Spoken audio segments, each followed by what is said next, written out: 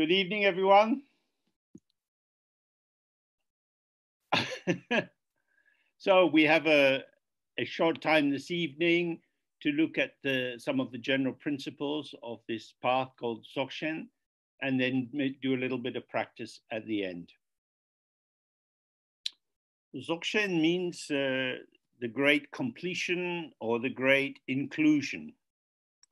When the word great is used in this context, it means uh, empty or open. It means it's not about some special entity, some God or divine being or fundamental reality. It's pointing to the mysterious process by which we manifest moment by moment out of an ungraspable openness. And uh, this state, which is our own state, is complete in as much as all the experiences that we have arising and passing, arising and passing, are immediately present and then gone. So we live on the cusp of this wave which never breaks. We're just on this opening and opening and opening. So I'll say something about this in terms of the traditional categories of view, meditation, conduct, and result. So the view is that from the very beginning, our own mind, as it is, has been pure. Pure here means uncontaminated by anything. So we're used to having thoughts, feelings, sensations, hopes, and fears. Our moods expand and contract. There's all kinds of movement which we take to be ourselves. We maintain this sense of self identity through our selective attention and our editing we highlight the features which seem to confirm our sense of who we are and diminish the impact or intensity of the factors which don't confirm our sense of who we are. When we become aware of that, we start to see that we are in a process of constant construction. That it's like being a child on the edge of the sea where the sand is very soft and wet and you have your little bucket and you fill it with sand, you turn it upside down, and it just slowly dissolves onto the rest of the sand. So everything we construct in life gradually fades away, whether it's work situations, relationship situations. The shifting patterns of what we experience cannot be frozen, no matter how hard we try. So the purity of the mind is the fact that these pulsations or moments of experience are present without leaving a trace. A traditional example for this is the mirror, that a mirror on the wing of a car over a journey will show hundreds of thousands of reflections and images, and yet it will be fresh at the end of the journey. Everything else in the car will be tired, including the driver but the mirror stays fresh and open for the next thing that arises. Usually, we take on an accretion. We get layered with the stresses of the day, with remnants of conversations we've had with people, with plans, and so on. We get full of stuff. So, the view is that we the person who feels that they are full of stuff is a false identity or a delusion which is generated by a lack of clarity as to our own ground. That our base is space, our base is ungraspable openness.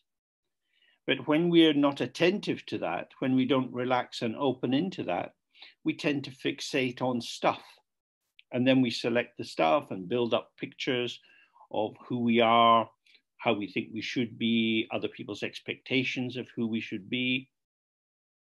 And that keeps us very, very busy. And not only is there the busyness of the moment, but as we find ourselves repeating patterns, developing habit formations, we find that there's an intensification of our investment in our projects. And this investment is what is meant by karma. Karma is the belief that things are real, that they are important, and that I have to do them. And this means that when you finish something, because you're so invested in it, there's like a kind of wobble. You've added too much energy into it. And so there's a kind of judder, and that reverberation continues through time. So even if you stop doing something, a habit like smoking cigarettes, if you got a bit drunk at a party, you might find yourself trying to catch a cigarette off someone else because that pattern would remain dormant inside you. You haven't smoked for 10 years, but still you could because the pathway hasn't entirely vanished. So the, the view is that in order to free ourselves from this endless reverberation, this ricocheting and like being stuck in a pinball machine, bouncing off stimuli, creating uh, investments of importance, we don't have to try hard. This is a fundamental understanding of Dzogchen. Because the mind is pure, it has never ever been marked or conditioned or limited by any pattern we have. So we may feel, what I'm like this. I know me, and my people who know me, they know I'm like this. Therefore, this pattern is me. For a while. You weren't like that when you were born, nor when you were five years of age, nor when you were 15. Our egoic formation is always deceiving us about our changes because the ego is our sense that I am a consistent point of reference. I exist as me, and I have always been me. I, things have happened, I've met people, been close, broken up, and so on, all kind of stories. But fundamentally, I am myself. So this is a, an obscuration or a false belief which we are held enthralled by. We are under the power of it. How did it come about? The traditional teachings say it just occurred. It's like a magical formation. It has no meaning. It just happened. On the basis of it happening, one first thought, the thought of substance, something. From something, we have subject and object, an experiencer of the something and a something which is experienced. And subject and, and object start to vibrate together like a damaru, like a two headed drum. And this sends off all kinds of patterns of interest and evolution, and we end up experiencing our complex world. The fundamental basis of it is our reification, that we experience entities. We look around our world and we see the walls in the room we're in, decorations, carpets, cups, and so on. Each of these we perceive as something. I see what is there. I know who I am and I know where I live and I know what I have in my house, my possessions. I am a knower of things. There's a certain power to that. But of course, there are many, many things we don't know. So we're like a little glowworm with a small arena of illumination and surrounded by a vast darkness.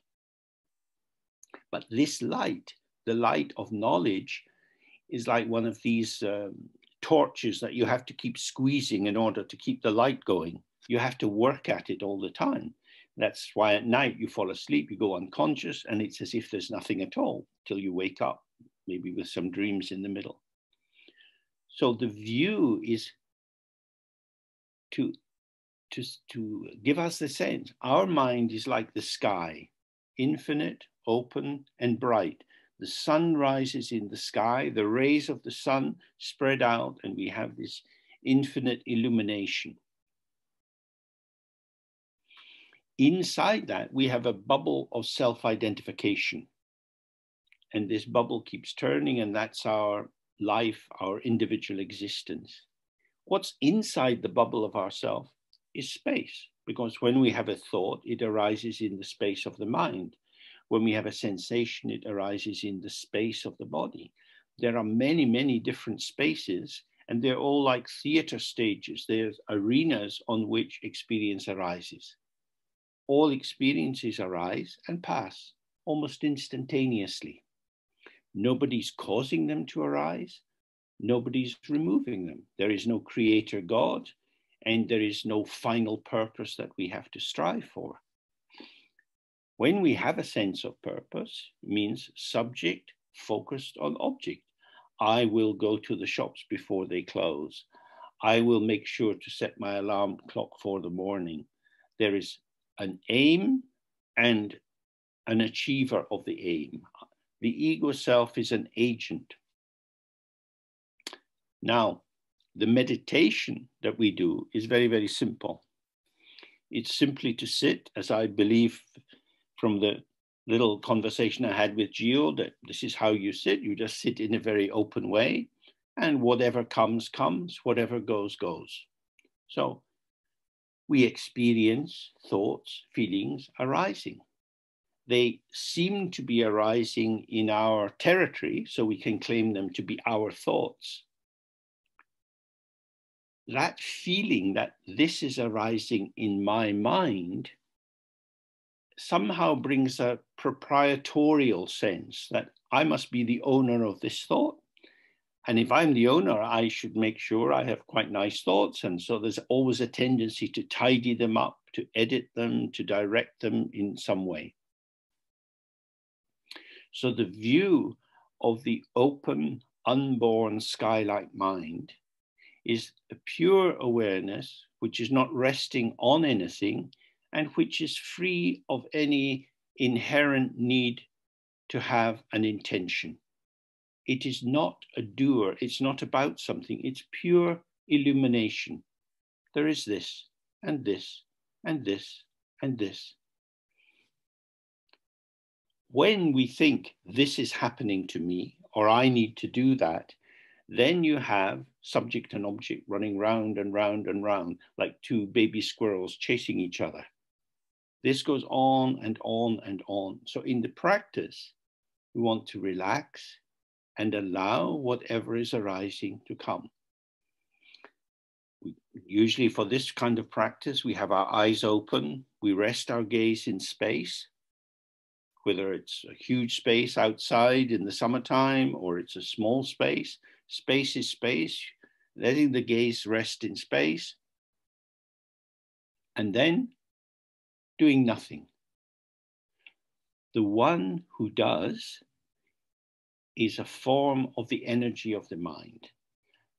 The energy of the mind is like the wind blowing through the sky. The wind is also almost ungraspable you see it not directly, but indirectly when it moves the clouds or ruffles the leaves in the tree. So from the sky, you have the wind, and then the wind leads to fire, to water, and then to earth. And most of the time, we conceptualize our experience in terms of earth. This happens. I want this. I don't want that. And this and that carry a density which is not actually inherent to them. It is projected from our longings, our beliefs, our value. When we have a project at work, it becomes important for us. We put a lot of time and energy into it. If you were to take it out and go into a shop and say, How much money will you give me for my report? They say, why would I give you any money? Nothing. What is it? It's rubbish. For you, it's very precious. For them, it's just pieces of paper with writing on it. When we see this again and again, we realize that the, the brightness of the world, the shining quality of the world is our own projection. But because we have selective attention, because we have bias, because we go to the world not in a fresh, open way, the patterning of our ignoring or attending brings a topology to the world uh, peaks and valleys, bright patches, and things which are seemingly forever in the dark. And so we lack a panoramic vision. Now, when we sit in meditation, we experience that. Some thoughts and feelings, some sensations really seem to grasp us, and others we don't really care about. Why is this? Because of how we have become conditioned to allocate value. We don't see the intrinsic value, we see the patina of our own artificial, contrived, constructive value. And this creates a kind of echo chamber in which our thoughts are returned to us as if they were valid. And we, of course, we are human beings, certainly in this life, we talk to each other, and in language, we generate this web of confirmation of the truth of how we are. So,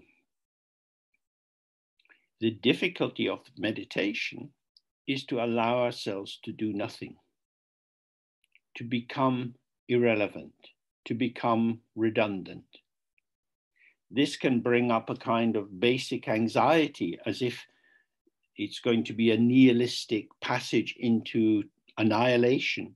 I'll be nothing at all. I'm going to vanish into some great space of nowhereness. I, I've got to hang on to my existence.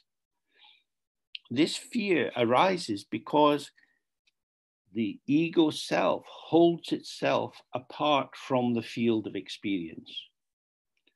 Although we breathe in moment by moment, we need to eat and drink, we are participating through our belonging, our metabolic, our organ, organismic belonging to this environment, our conceptualization sets us as something apart from it. So if you dissolve the ego, you're still here in the world, but you start to see that your belonging in the world is not me and the world, but me world arising together in non duality. Non duality means not one and not two, it's both and. The, there is a togetherness which is not a homogenization. The more we feel at home in the world, we are more tolerant of how things are because it's just this appearance and just this appearance. And we have hopes and fears and thoughts and worries they come and they go. And when we see there is no, actually no individual self that they're referring to, then the impact of good days and bad days thins and thins and thins. And so we become more spacious, more at ease in ourselves. This uh, experience is known as clarity which means that nothing has changed. The world functions. You get up, you clean your teeth, and so on. Who is the one who is cleaning their teeth? That's not a, a question to be uh, solved by some kind of cognition.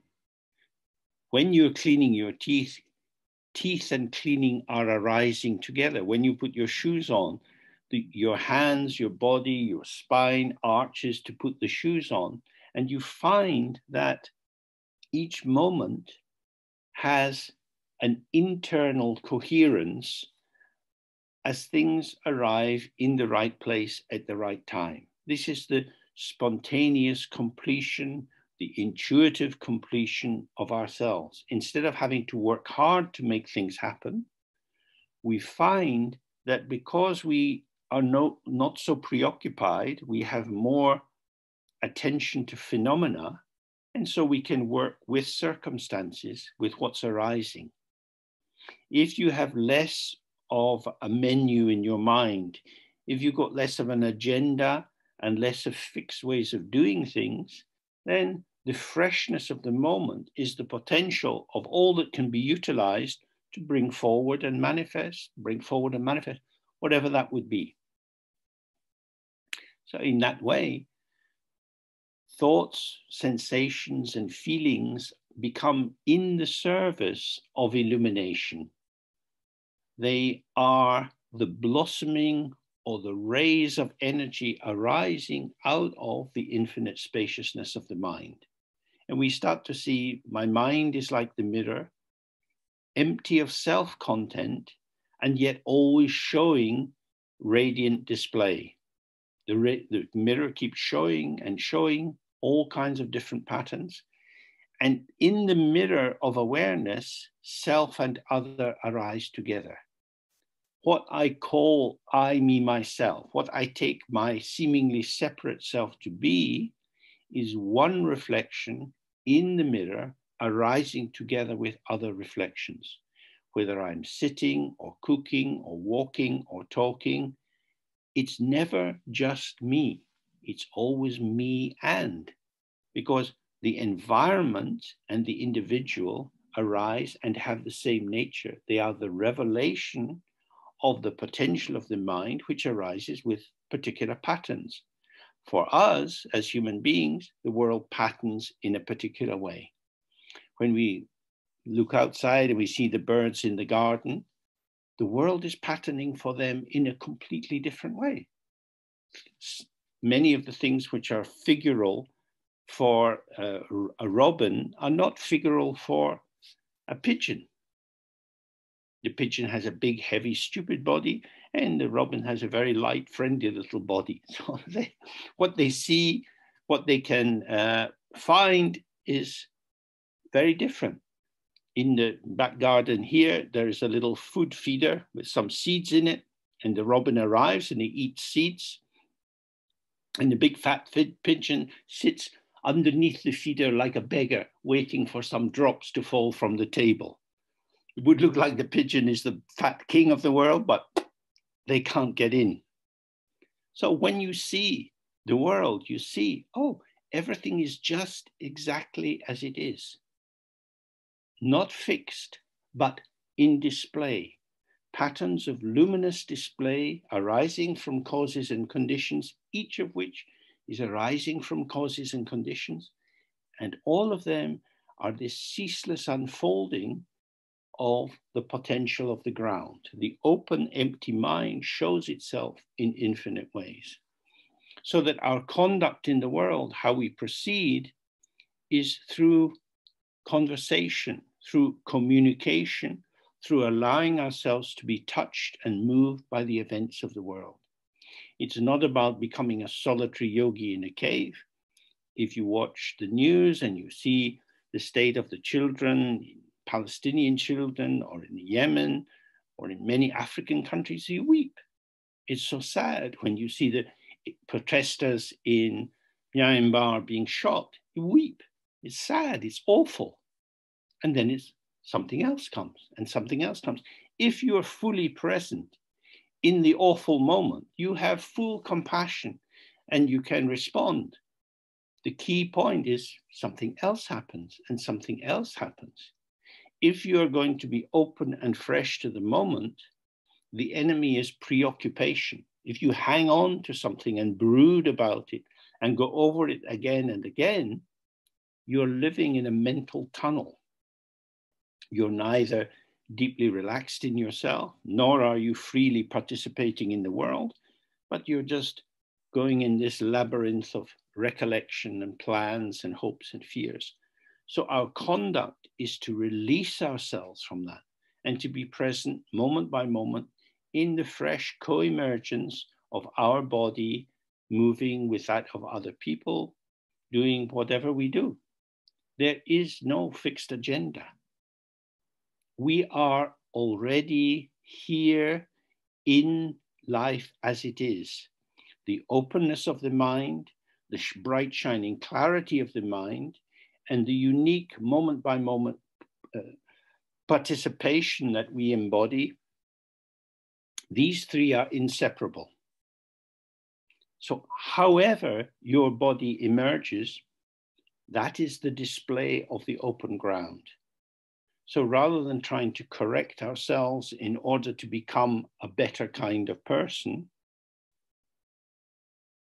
which is a, a kind of strange notion, if I'm going to make myself a better kind of person, I am the builder of myself.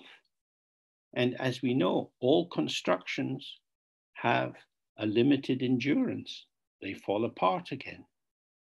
So, self construction is a way of hiding ourselves from ourselves. The very desire to better ourselves, to better the world, becomes a way of not seeing the actuality of how experience emerges from the ground. So the path is luminosity. The path is to say, stay close to the light of the ground as it presents with all the phenomena which are revealed to us. Our eyes, our eyes can only see light. The eye cannot see motor cars and trees. The mind interprets light as things. Our ears can only hear sound, but we interpret the sound as music or people having a fight or whatever. So when we start to see the naked, fresh potential of the world is being cooked according to the recipe book of my cultural fixations, my neurotic fixations, my egoic fixations, we can put down the cookbook for a while and just stay present with the revelation, with what is received. I don't have to be so busy. Life will continue without me, and I don't have to wait till I'm dead to find that out. The less I do, the more I receive. And when we receive more, we find that we are being energized and resourced by each moment. So, this is the basic orientation of Dzogchen that what we need is already here through our open, fresh participation. And the result of that is that we stop driving ourselves. It doesn't mean that you can't work hard or if you have projects you want to fulfill, you can do them, but in the manner of a dream. You can have what is effort? Effort is a mobilization of energy but it doesn't have to be serious. Seriousness is a kind of overburdened heaviness in which true value and true meaning has been put into something which actually will fade. Seriousness, as we see in the world politics all the time, makes it makes for an overinvestment in limited projects, which leads to the identification of those who don't agree with my project as being my enemy and quickly leads to war. There are so many sites of violence in the world today because people know these other people are my enemy. They are trying to undermine me and kill me. Why would they do that? Because very, very few people live in a shared world. They start with number one, I, me, myself, and then with a series of concentric circles going out, my lovers, my family, and so on, until we reach those I don't know and those I don't want to know. And I'd be quite happy if they were dead. And so, fairly skilled at annihilating people. So, Dzogpa Chenpo, the great inclusion, brings everything into one great circle, one great bubble of light.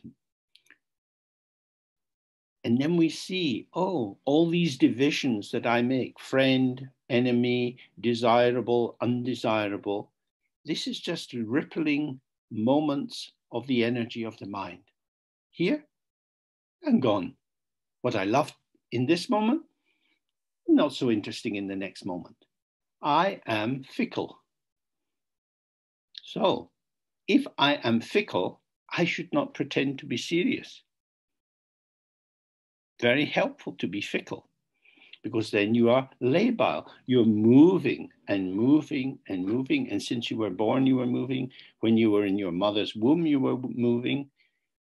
We are movement. and move, excuse me, and movement is not solid. And, and it's not serious either. So this is the basis of our Dzogchen practice.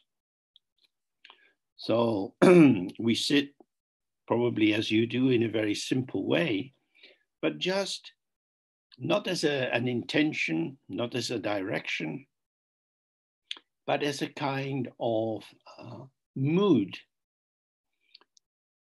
We have the sense of space. We open to space. Space is our home.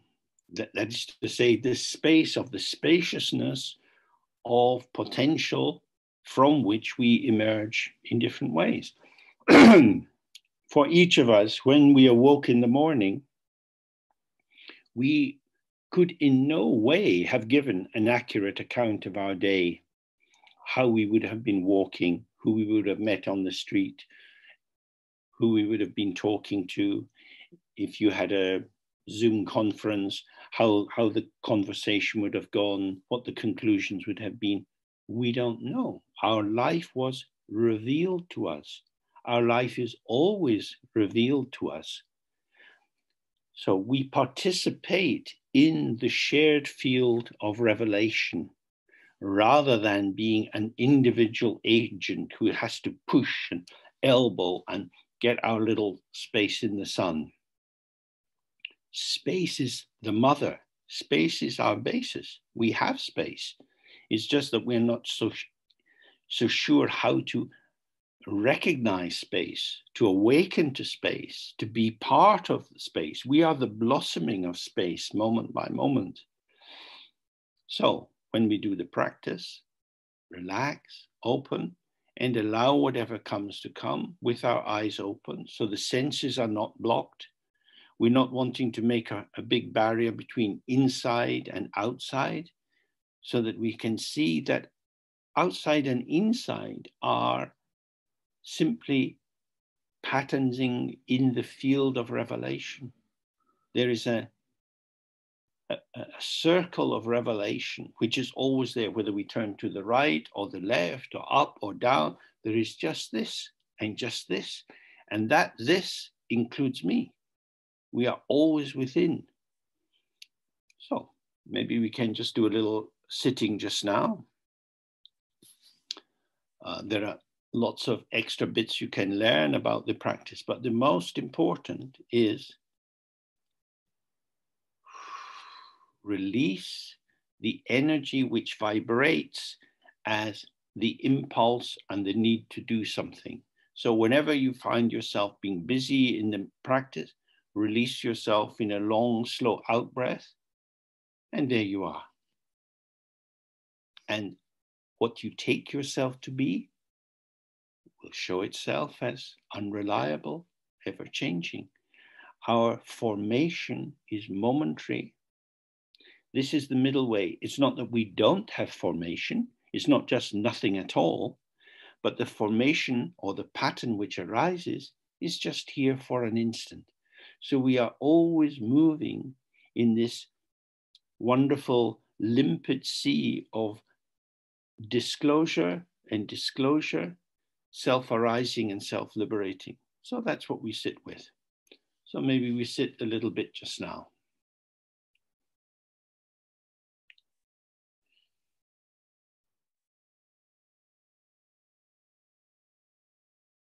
Okay.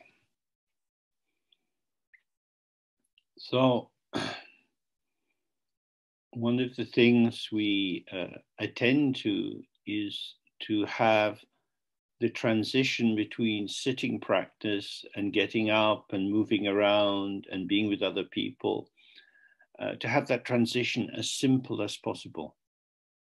We sit in open clarity and we move in open clarity. When we find ourselves recentering into our body as I am this person, we want to just be aware oh, I am falling under the power of a thought. I am identifying myself on the basis of a, a linked series of concepts. I exist, I have a body, I am not you. If we hold on to these concepts, they generate a little cocoon around us, which gradually separates us from what's around. So simply seeing the thought which defines me has already gone. The feeling which defines me has already gone. We don't need to block what is arising, but just to avoid grasping and building and constructing so that whatever occurs is self arising and self liberating. And then we have the seamless movement of sitting and moving and talking, and life moves on within this luminous sea of light. So that's all I have to say today. I hope I wish you well with your practice. You've been meeting together for quite a long time, Gio was telling me. So I hope you're really enjoying it and get some good benefit to make your lives more easy. So I say goodbye.